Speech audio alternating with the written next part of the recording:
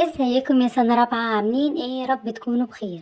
تعالوا نشوف النهاردة مع بعض إيه الفرق ما بين الثعلب القطبي وثعلب الفنك أو الثعلب الصحراوي.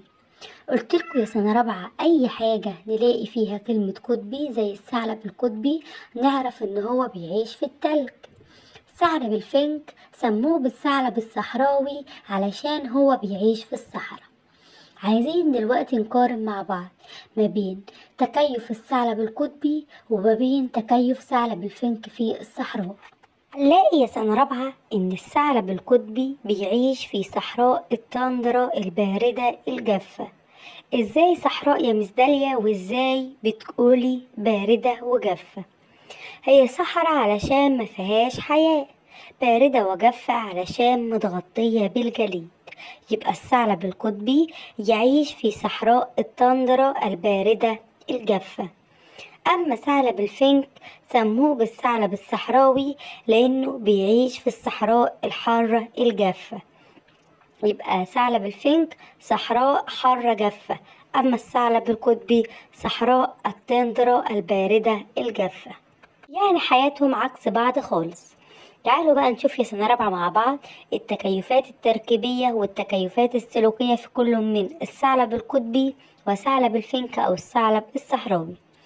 أول تكيف تركيبي في الثعلب القطبي ركزوا في الصورة اللي قدامكم كويس هتلاقوا إن أذن الثعلب القطبي قصيرة أذن الثعلب القطبي قصيرة كمان سيقانه قصيرة ركز في الصورة هتلاقي إن أذن ودان ورجل الثعلب القطبي بتكون قصيرة. يبقى أذن وسيقان الثعلب القطبي قصيرة علشان تساعده على الدفء في وسط الجليد.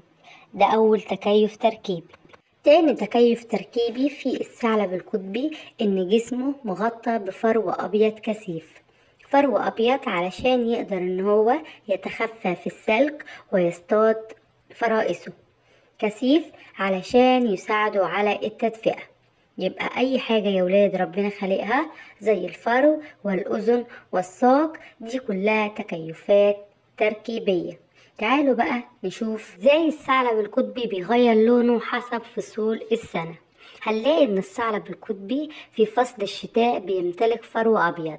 الثعلب القطبي في فصل الشتاء بيمتلك فرو أبيض.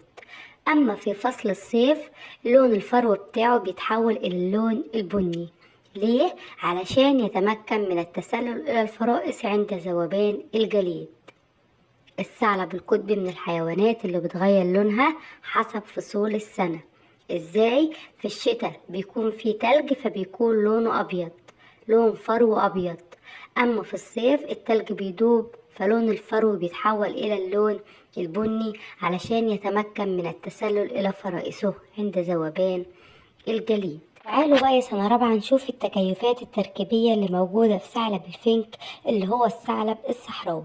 هنلاقي إن ثعلب الفنك له أذن طويلة أما الثعلب القطبي أذن قصيرة. ثعلب الفنك له أذن طويلة.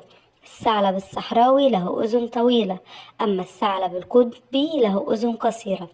الأذن الطويلة دي يا ولاد بتساعده على فقد الحرارة لتبريد جسمه عشان هو بيعيش في الصحراء فدرجة الحرارة فيها بتكون عالية جدا. ده أول تكيف تركيبي في الثعلب الصحراوي اللي هو ثعلب الفنك له أذن طويلة. إيه فايدة الأذن الطويلة؟ بتساعده على فقد الحرارة لتبريد جسمه.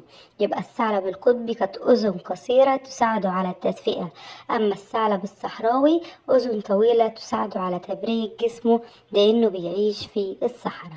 تعالوا بقى نشوف التكيفات السلوكية في كل من الثعلب القطبي والثعلب الصحراوي. لا يا ولاد إن الثعلب القطبي بيدخل في الجحور أثناء الليل. ليه؟ علشان يحصل على التدفئة. يبقى يا ولاد من التكيفات السلوكية في الثعلب القطبي إن هو يعيش في الجحور ليلا ليحصل على الدفء. من التكيفات السلوكية خلي بالكو في الثعلب القطبي يعيش في الجحور ليلا ليحصل على الدفء. أما من التكيفات السلوكية في الثعلب الصحراوي يعيش في الجحور نهارا يعيش في الجحور نهارا. ليه الثعلب الفنك هيعيش في الجحور نهارا؟ عشان الجو في الصحراء طول النهار بيكون حر جدا فهو بيدور على مكان ظل علشان يحافظ على برودة جسمه يبقى من التكيفات السلوكية للثعلب الفنك اللي هو بيعيش في الجحور بس بالنهار ليه؟ علشان يحافظ على برودة جسمه كمان يا ولاد بيحافظ على برودة جسمه عن طريق اللهس عن طريق اللهس وبيتنفس 700 نفس في الدقيقة. ثعلب الفنك بيعيش في الجحور نهارا بيعتمد على اللهس علشان يحافظ على برودة جسمه. بيتنفس بمعدل 700 نفس في الدقيقة. أما الثعلب القطبي كان بيعيش في الجحور ليلا علشان يحصل على التدفئة. ومن هنا نلاقي إن ثعلب الفنك عكس الثعلب القطبي. وبكده سنة رابعة نكون قارنا ما بين التكيفات التركيبية والسلوكية في كل من الثعلب القطبي والثعلب الصحراوي. أتمنى أكون أفدتكم بالتوفيق يا سنة رابعة.